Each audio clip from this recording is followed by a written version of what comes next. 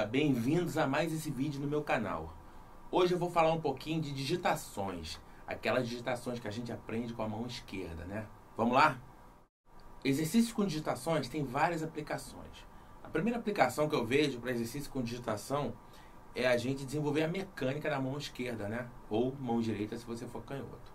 Bom, a gente tem aquelas, aquelas 24 combinações de digitações que a gente aprende, pelo menos eu aprendi quando comecei a estudar, e eu inclusive eu passo para todos os meus alunos, que são seis digitações começando com o dedo 1, seis começando com o dedo 2, seis começando com o dedo 3, seis começando com o dedo 4. Eu vou mostrar rapidamente cada uma delas para vocês, beleza? A série 1 que eu chamo, que começa com o dedo 1, seriam essas digitações. Letra A, 1, 2, 3, 4.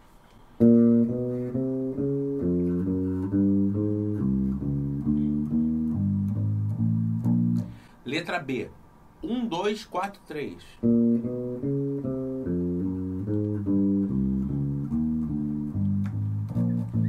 Letra C. 1, 3, 2, 4.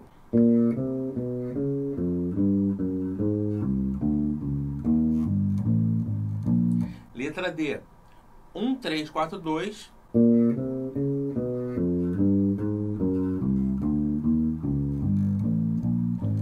Letra E. 1, 4, 2, 3.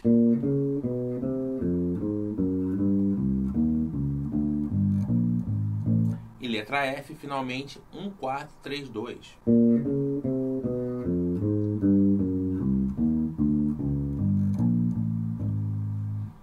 Série 2, letra A, 2, 1, 3, 4.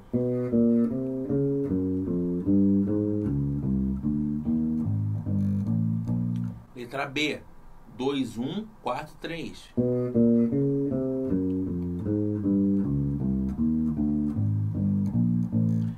Letra C, 2, 3, 1, 4.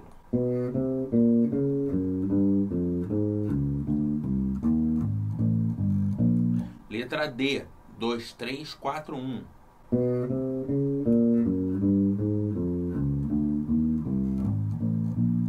Letra E, 2, 4, 1, 2.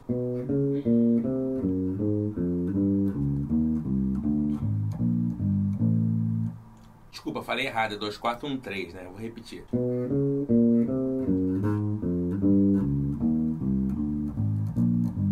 E letra F, 2, 4, 3, 1.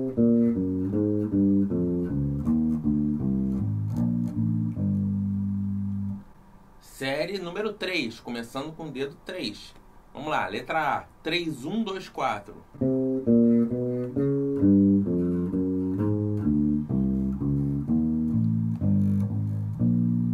Letra B, 3, 1, 4, 2.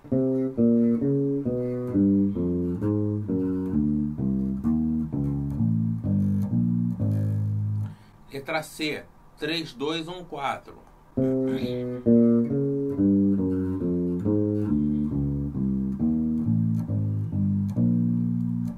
Letra D, 3, 2, 4, 1.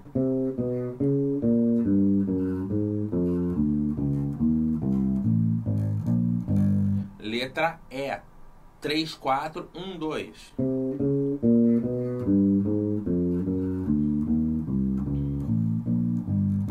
Letra F, 3, 4, 2, 1.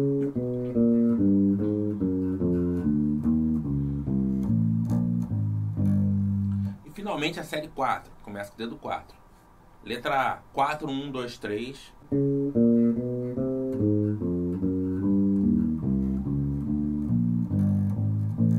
Quatro, um, três, dois, letra B.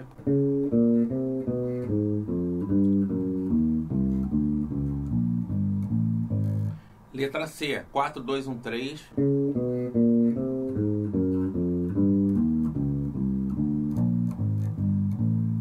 Letra D, 4, 2, 3, 1.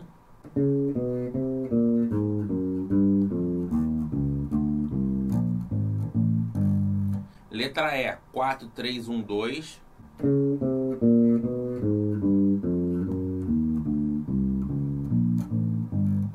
E letra F, finalmente, 4, 3, 2, 1.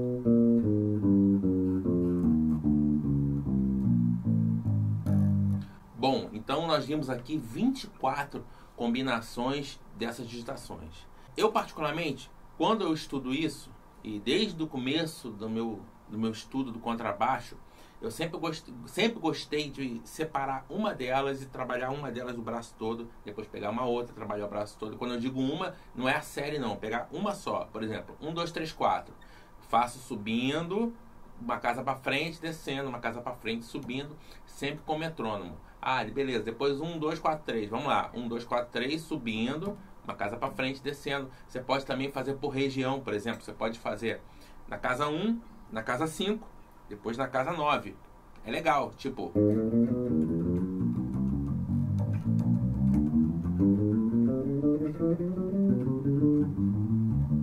Depois vai para casa é, 13. É uma forma interessante de fazer também.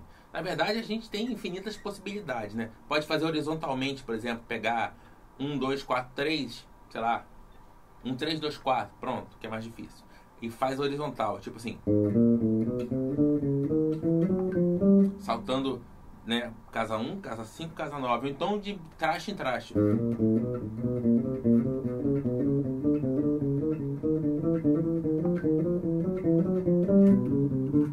Aí pode voltar também, né?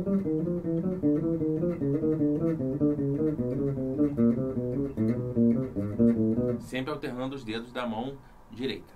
Bom, é, essas são formas de estudar as digitações que eu considero bem essenciais, né, digamos assim, para quem está começando a estudar o contrabaixo.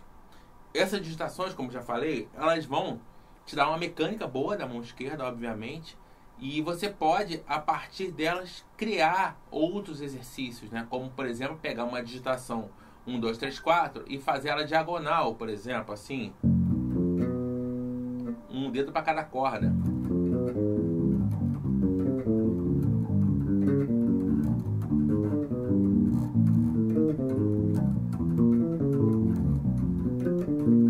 Um, dois, quatro, três.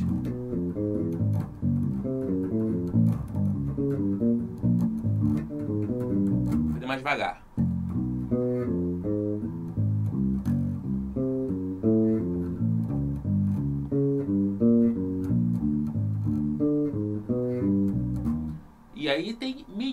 Possibilidades de exercícios que vocês podem criar a partir dessas digitações, ok?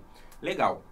Uma outra coisa que é muito útil, é a segunda parte dessa dica de hoje, é uma coisa que é, é muito utilizada e a gente não percebe às vezes. Por exemplo, a gente está no meio do improviso, a gente usa fragmentos dessas digitações e nem percebe, né? Por exemplo, uma frase. Isso aqui, isso aqui eu uso muito, isso aqui, ó.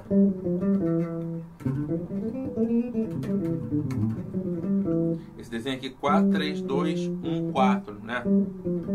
Aliás, 4, 3, 2, 4, 1. Desculpa, é isso aqui. Isso é um fragmento melódico, né? Se torna um fragmento melódico e é muito utilizado. Eu uso muito isso em improvisos. É, outro fragmento melódico que tem muita digitação é esse aqui, ó. Inclusive, é, eu estava até estudando ontem uma transcrição do Alan Caron, que para mim é uma grande influência. grande Caron, mestre Alan Caron. E ele tem uma digitação que ele faz muito, que é isso aqui. É? Isso aqui, desculpa. Isso aqui. Frase até que eu tirei dele que é. É.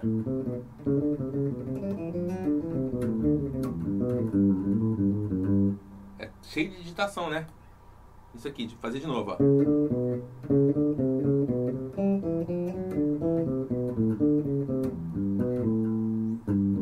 Desculpa. Vou fazer outra posição aqui, ó.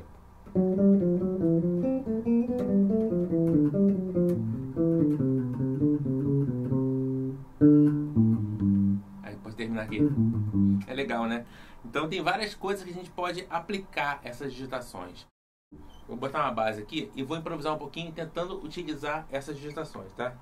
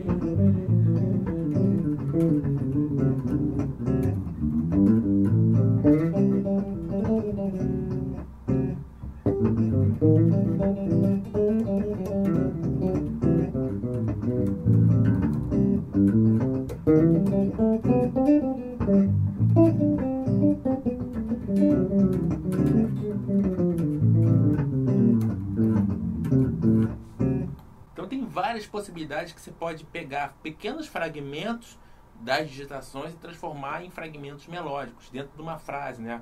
Utilizando em aproximações cromáticas, né? Que nem essa frase do Carum, que é uma aproximação cromática. Né?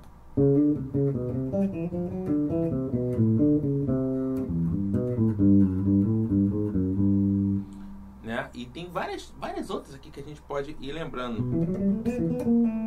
Ó.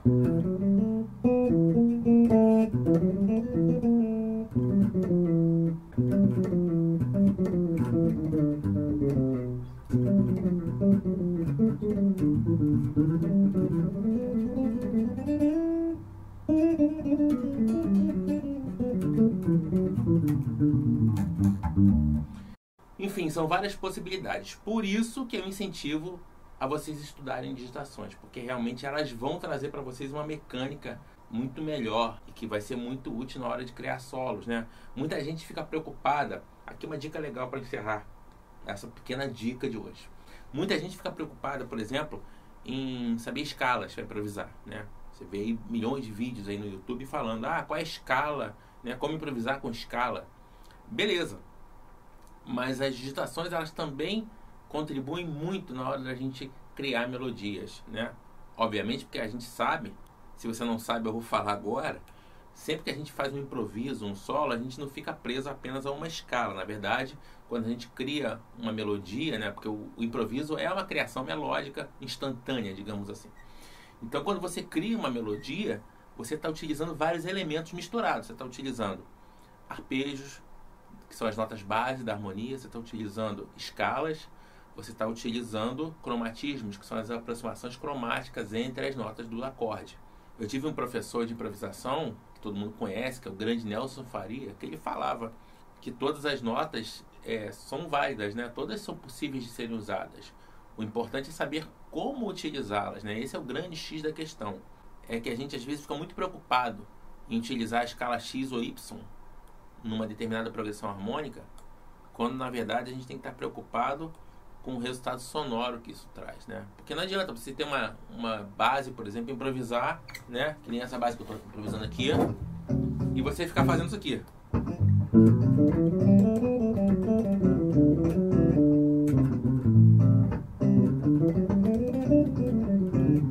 Ou seja, você está tocando uma escala em cima da base, né? E não é uma melodia, né? Então a gente pega as notas da escala e cria, né?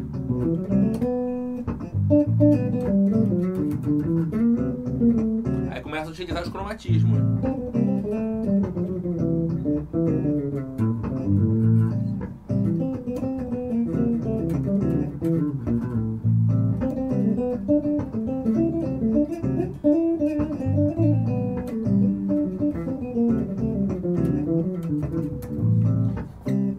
Mas isso é dica para aula de improvisação, né? Eu comecei falando de cromatismo e vou fechar falando de cromatismo.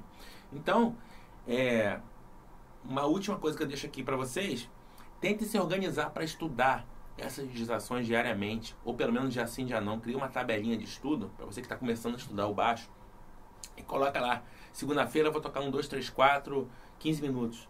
Terça-feira eu vou tocar um 2, 4, 3, 15 minutos ou meia hora, enfim. Mas sempre com o metrônomo, tá? Metrônomo é essencial.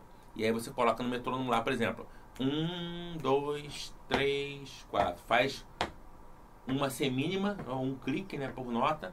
Depois você coloca duas notas por clique, né? Começa assim. Depois duas.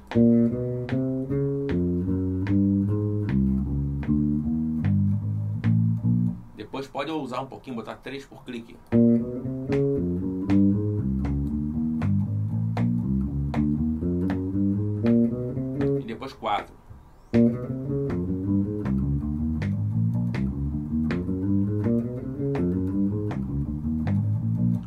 O metrônomo com o pé aqui, batendo o pé, mas não faça isso. Bote o metrônomo mesmo e não bata o pé na hora de estudar. É só uma dica que eu deixo aqui, porque aqui eu tô sem metrônomo aqui perto para ligar para vocês. Ok, galera? Bom, é isso aí. Espero que essa dica tenha sido útil para vocês, que seja bênção na vida de vocês. E qualquer coisa comenta aí embaixo do vídeo aí. E se quiserem mais dicas, sugestões de vídeos para eu gravar, é só colocar aí embaixo aí, que eu vou ter o maior prazer em gravar novos vídeos aí para vocês, beleza? Isso aí, galera. Um grande abraço para vocês, que Deus abençoe a todos. Valeu!